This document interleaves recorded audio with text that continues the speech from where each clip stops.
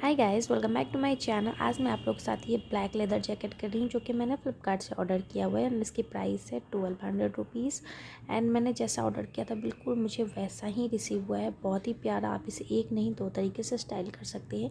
एक तो आप यहाँ तक चैन लगा के स्टाइल कर सकते हैं नेक्स्ट आप इसे पूरा लॉक करके स्टाइल कर सकते हैं और बहुत ही अच्छा है विंटर के लिए एंड मुझे बहुत अच्छा लगा। आप लोग कैसा लगा? कमेंट में ज़रूर बताना।